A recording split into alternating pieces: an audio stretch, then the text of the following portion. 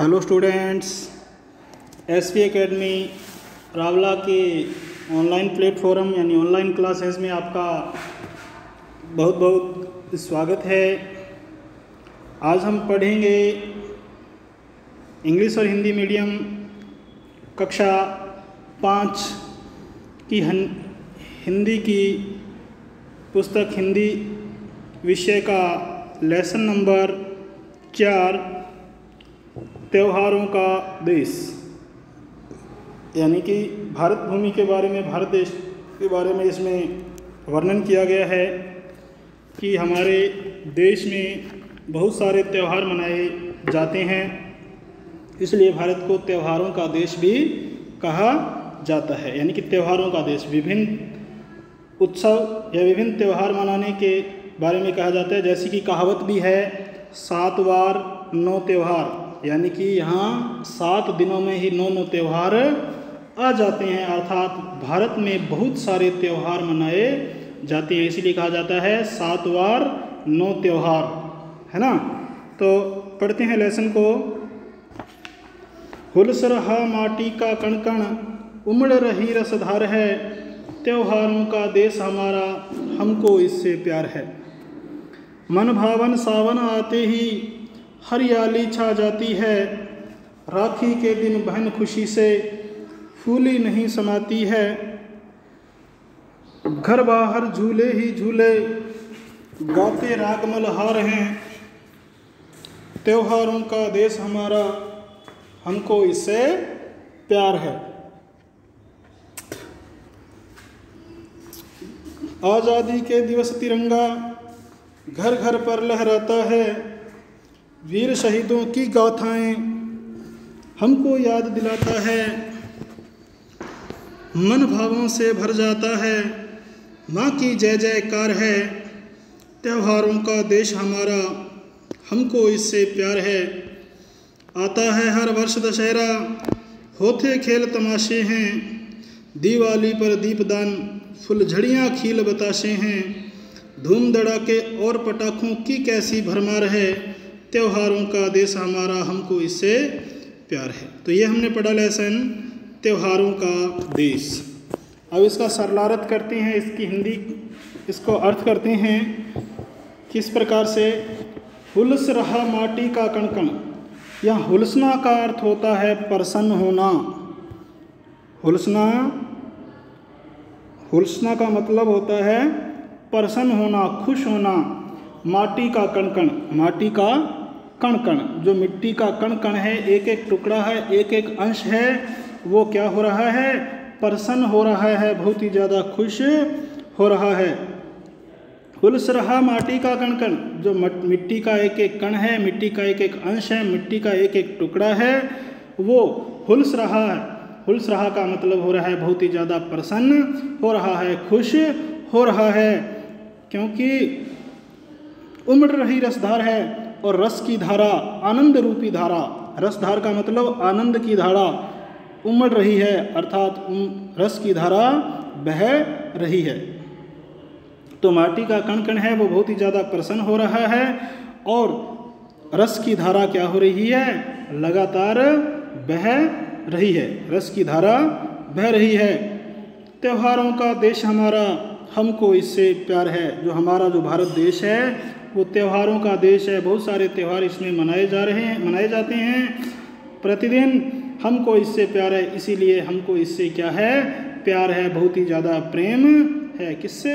भारत देश से। क्यों प्रेम है? क्योंकि इसमें बहुत सारे त्यौहार मनाए जाते हैं और त्यौहारों के दौरान मिट्टी का प्रत्येक कण कण उमड़ता है, हुलसता है, अर्थात बहुत ही ज़्यादा प्रसन्न होता है और उमड़ रही रसधारा और प्रसन्नता की धारा भी बहती है, अर्थात बहुत ज़्यादा रस की धारा बहती है, अर्थात बहुत ही ज़्यादा लोग प्रसन्न होते हैं। इसीलिए हमको भारत भूमि से भारत देश से क्या है? प्यार है आगे है, मन भावन सावन आते ही हरियाली छा जाती है। मन भावन, मन को भाने वाला, मन को अच्छा लगने वाला सावन सावन मास। हिंदी महीनों के अनुसार पांचवा महीना है भी, पहला चैत्र, दूसरा वैसाख, फिर जैसठ, फिर आषाढ़ और पाँचवा श्रावण। तो श्रावण महीना आते ही, मन को भाने वाला महीना सावन आते ही, हरियाली छा जाती है, चारों तरफ़ हरियाली ही हरियाली छा जाती है, क्योंकि इस समय बारिश का दौर शुरू हो जाता है और चारों तरफ़ हरियाली ही हरियाली क्या हो जाती है? छा जाती है। फिर इसके दिन क्या आती है भाई राखी। राखी का मतलब यानी कि रक्षाबंधन का त्यौहार भी आता है। रक्षा बंधन के दिन बहन खुशी से फूली नहीं समाती है, जो राखी का त्यौहार आता है, राखी का जो उत्सव मनाते हैं हम, उस दिन बहन खुशी से फूली नहीं समाती है, यानी कि बहन बहुत ही ज़्यादा प्रसन्न होती है, क्योंकि वह अपने भाई की कलाई पर राखी बांधती है, रक्षा सूत्र बांधी है, बांधती है और अपने भाई से प्रण करवाती है कि वह उसकी आजीवन क्या करेगा? रक्षा करेगा, उसकी सुरक्षा करेगा। तो इसीलिए कह रहा है राखी के दिन बहन खुशी से, यानी कि रक्षाबंधन के त्यौहार के दिन, बहन खुशी से फूल ही नहीं समाती है फूल ही नहीं समाना, अर्थात बहुत ज़्यादा प्रसन्न होना। घर बाहर झूले ही झूले, गाते राग मल्हार हैं। मल्हार होता है, क्या होता है मल्हार? वर्षा ऋतु में गाया जाने वाला एक राग। तो क्या है? घर बाहर झूले ही झूले। घर और बाहर लोग क्या हैं? श्रावण के मास में क्या करते हैं? झूले जैसा कि देखो, इस चित्र में भी दिखाई दे रहा है। इस चित्र में दिखाई दे रहा है। दिखाई दे रहा है ना अभी? क्या है? झूले। तो घर बाहर झूले ही झूले। घरों और बाहर लोग पेड़ों पे क्या बना लेते हैं? झूले बना लेते हैं। क्या बनाते हैं? झूले बनाते हैं। और झूले झूलते भी हैं। गाते राग मल्हार हैं और मल्हार राग। मल्हार एक राग है। जो किसके दौरान? वर्षा ऋतु के दौरान गाया जाता है। तो श्रावण के मास में घर बार झूले झूले ही झूले पड़ जाते हैं और लोग और लोग क्या करते हैं? मल्हार राग। मल्हार राग अर्थात वर्षा ऋतु में गाया जाने वाला एक राग गाते हैं। और इसीलिए क्या कह रहे कवि, त्योहारों का देश हमारा हमारा देश कैसा है? त्योहारों का देश है। हमारा देश कैसा है? त्योहारों का देश है। हमारा इसीलिए हमें इससे क्या है? बहुत ज़्यादा प्यार है। अर्थात उससे हम बहुत ज़्यादा प्रेम करते हैं भी। आगे है। आज़ादी के दिवस तिरंगा घर घर पर लहराता है। वीर शहीदों की गाथाएँ हमको याद दिलाता है। फिर आज़ादी के दिवस, आज़ादी के दिन, यानी कि पंद्रह अगस्त। जैसा कि आज हम मना रहे हैं पंद्रह अगस्त, है ना? तो इस आज़ादी के दिवस तिरंगा तिरंगा का मतलब है तीन रंगों वाला, सबसे ऊपर केसरिया, बीच में सफ़ेद और नीचे ही नीचे हरा। केसरिया बलिदान का प्रतीक, सफ़ेद रंग, शांति का प्रतीक, हरा रंग, हरियाली का प्रतीक। तो आज़ादी के दिन, आज़ादी के दिवस दिवस का मतलब होता है दिन। आज़ादी के दिन है, वो क्या लहराता है भी तिरंगा घर घर पर लहराता है और हमारे प्रत्येक घर में अंदर, घर के अंदर हम क्या करते हैं? तिरंगा लहराते हैं। जैसा कि देखो, इस चित्र में भी दिखाई दे रहा है अभी। दिखाई दे रहा है ना? इस चित्र में। देखो, किस प्रकार ये एक फौजी खड़ा है, किस प्रकार ये व्यक्ति खड़ा है और किस प्रकार ये सैनिक क्या कर रहे हैं? परेड कर रहे हैं। तो इस प्रकार ये देखो, झंडा भी दिखाई दे रहा है इस चित्र के अंदर, तस्वीर के अंदर, है ना? तो आज़ादी के दिवस दिवस का मतलब होता है दिन। आज़ादी के दिन तिरंगा घर घर पर लहराता है। घर घर में क्या लहराया जाता है? तिरंगे झंडे को लहराया जाता है। वीर शहीदों की गाथाएँ हमको याद दिलाता है। जो हमारे देश के लिए वीर लोग शहीद हुए हैं, अर्थात उन्होंने अपना सर्वस्व न्यौछावर किया है। उनकी गाथाएँ, उनकी कहानियाँ हैं। हमको याद दिलाता है उनकी कहानियाँ किस प्रकार से हम भारतीय लोगों ने स्वतंत्रता के लिए प्रयास किए और बहुत ही ज़्यादा प्रयासों के बाद हमें जाके क्या मिली? स्वतंत्रता प्राप्त हुई, क्योंकि हम किसके गुलाम थे?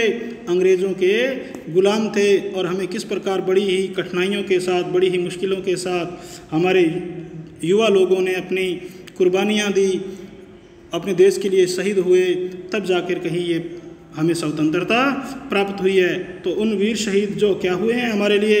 शहीद हुए हैं, हमारे देश के लिए शहीद हुए हैं, हमारी स्वतंत्रता के लिए शहीद हुए हैं, उनकी जो गाथाएँ हैं, उनकी जो कहानियाँ हैं, हमको याद दिलाता है कौन? तिरंगा झंडा।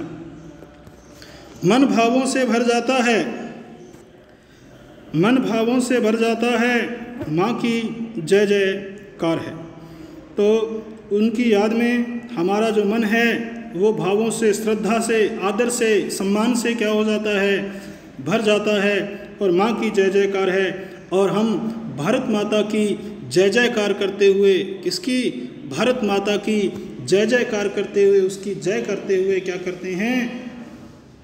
जय करते हैं, अर्थात हमारा मन श्रद्धा से भर जाता है और हम सभी भारत माता की क्या करते हैं? जय बोलकर प्रसन्नता व्यक्त करते हैं, अपनी खुशी व्यक्त करते हैं। इसीलिए कवि ने कहा है, त्योहारों का देश हमारा, हमको इससे प्यार है। जो हमारा, जो भारत देश है वो त्योहारों का देश है और हमको इससे बहुत ज़्यादा प्यार है। तो दोबारा फिर देख लेते हैं। हुलस रहा माटी का कण कण उमड़ रही रसदार है। हुलस रहा अर्थात प्रसन्न हो रहा है। जो मिट्टी का एक एक कण है, वो बहुत ही ज़्यादा प्रसन्न हो रहा है और रस रूपी धारा आनंद रूपी धारा बह रही है। त्योहारों का देश हमारा, हमको इससे प्यार है क्योंकि ये भारत जो देश है, वो त्योहारों का देश है और हमको इससे क्या है? प्यार है। मन भावन सावन आते ही हरियाली छा जाती है, मन को भाने वाला, अर्थात श्रावण मास।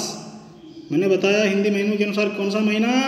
पांचवा महीना। तो महीनों के नाम क्या हैं? चैत्र, वैशाख जैसठ आषाढ़, श्रावण, भाद्रपद आश्विन कार्तिक, मार्गशीर्ष, पोष, माघ और फाल्गुन।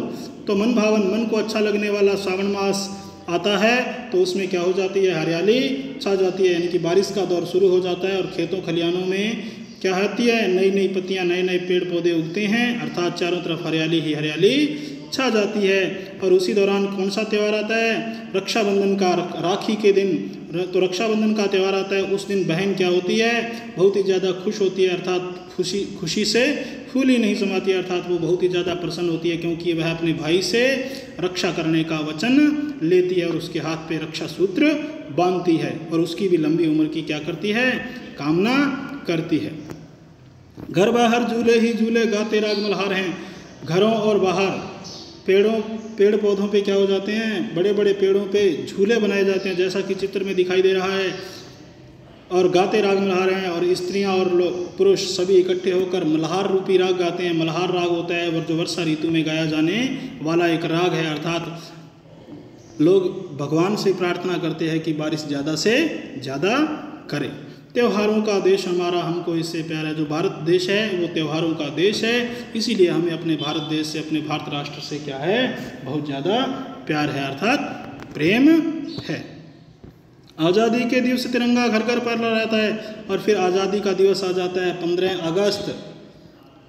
है ना, पंद्रह अगस्त, इस दिन हमारे क्या होती है, हम हम आज़ाद हुए थे, अंग्रेज़ों की गुलामी से स्वतंत्र हुए थे तो आज़ादी के दिवस, आज़ादी के दिन हम तिरंगा लहराते हैं प्रत्येक घर में। तो प्रत्येक घर के दर, अंदर आज़ादी के दिन हम यानी कि पंद्रह अगस्त को घर घर पे हम तिरंगा झंडा लहराते हैं, जो हमें क्या करता है, वीर शहीदों की गाथाएँ हमको याद दिलाता है, जो हमारे देश के वीर थे, जो स्वतंत्रता के लिए शहीद हो गए, उन शहीदों की गाथाएँ, उनकी कहानियाँ हमको ये याद दिलाता है। मन भावों से भर जाता है। मन भी क्या होता है?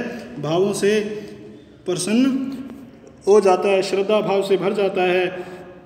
और माँ की जय जयकार करते हैं और बड़ी प्रसन्नता के साथ हम अपनी माँ की, अर्थात भारत भूमि की जय जयकार करते हैं। अर्थात उसकी प्रसन्नता के गीत गाते हैं, इसीलिए कह रहे हैं, कवि, त्योहारों का देश हमारा, हमको इससे प्यार है। जो भारत देश है, वो त्योहारों का देश है और हमें इस देश से, हम इस भारत भूमि से, इस भारत राष्ट्र से, इस आर्यावर्त से, इस हिंदुस्तान से, इस सोने की चिड़िया से हमें क्या है? बहुत ज़्यादा प्यार है।